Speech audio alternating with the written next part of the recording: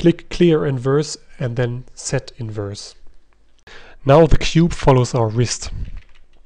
If we want to animate the influence, we can simply add a keyframe here. With Blender you can also store and load poses. For example, if I wanted to create a fist pose, I'll make the fist pose and then I'll select all the relevant bones and click on add to library here and enter a name, fist.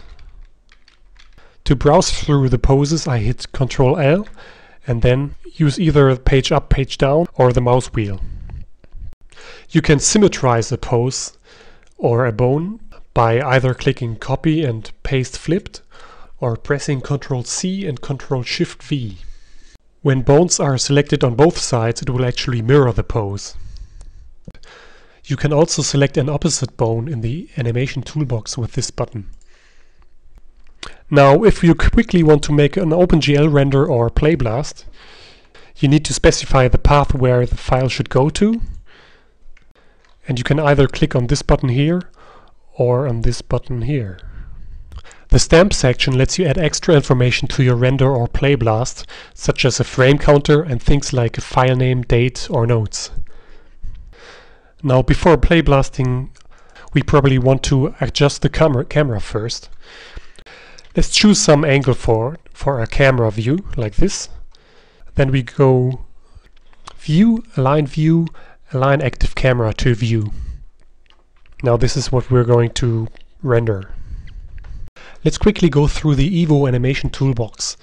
Um, you can keyframe location, rotation, scaling individually, delete keys for the current frame, toggle this to show only the geometry for playblasting maybe, playblast, reset transforms of the current uh, bone. Here you can uh, set the active action clip, the active keying set, and this one lets you toggle X-ray on and off for the bones. Bone snapping tools. First select the bone to snap and then the target to snap to. Now press one of these buttons depending on whether you want to snap rotation, location or both. It is important to clear the selection first. The safest way to do this is by clicking on deselect all here. You can also bake constraints similarly. Select the bones to bake, press P in the timeline, dope sheet or graph editor to specify the start and end frame. Then click on one of the baking buttons. Note that this button has become gray. This is a feature to let you quickly use an alternate frame range to work with. You can toggle it off again when you're done. There's also a little panel here for creating bone selection sets and recalling them.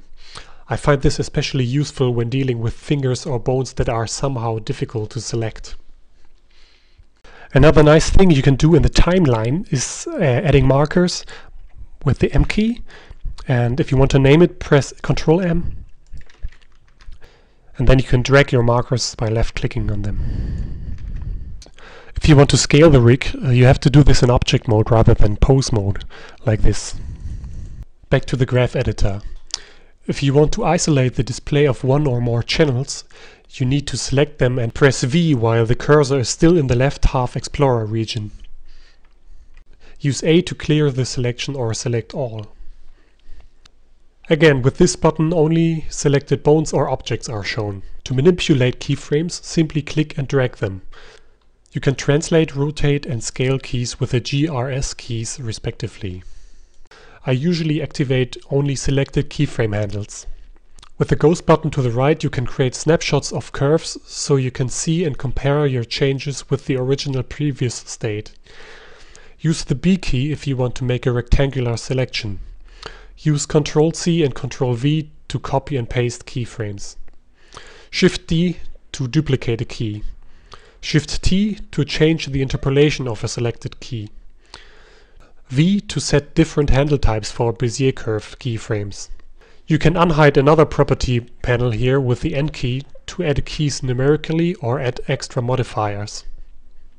Let's add another space and make it a dope sheet. If you are the kind of animator that likes to manipulate keyframes in the timeline, which is not possible in Blender, I recommend to do this in a separate little dope sheet as shown. The dope sheet has a very similar functionality set to the graph editor, but visualizes the keys more compact. It is possible to collapse an armature's animation to one line. If the summary button is activated, it even displays all animation inside the scene at once. Control left click selects all keys on one side of the current time. With the E key you can quickly insert empty space. T lets you warp scale the selected keys. Hitting R lets you mark keys as breakdowns or extremes, changing their color. More on the interface. You can create and manage different screen layouts here. Use Ctrl plus the left or right cursor keys to browse through them. You can split and merge regions in the interface by dragging this little triangular handle in the corners. You can swap the region headers between top and bottom with F5. If you accidentally hide the header, simply click on the plus symbol to get it back. You can assign objects to one or more of the 20 layers here by pressing M.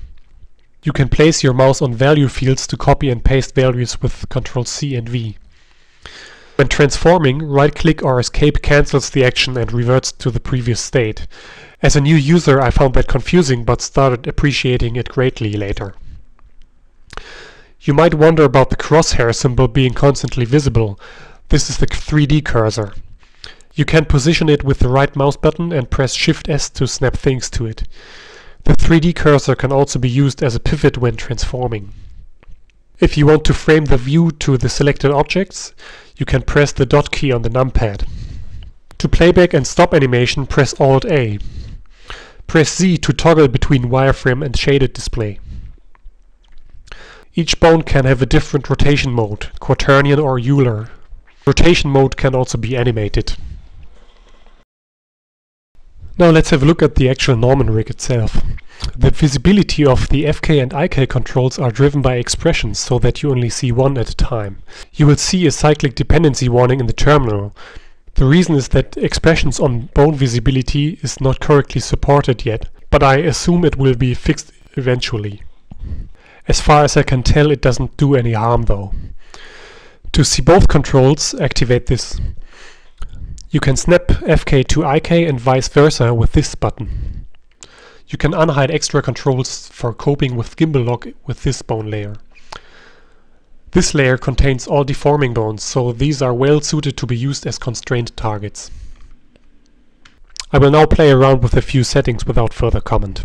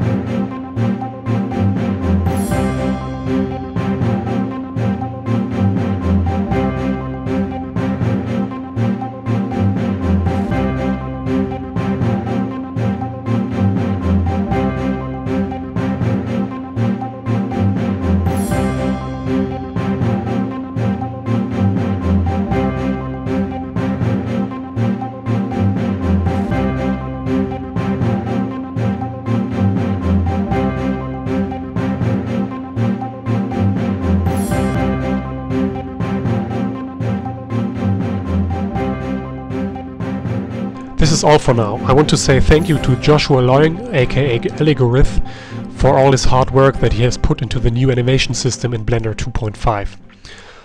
I hope that everything works as shown without problems and hope you are a happy animator now. Goodbye.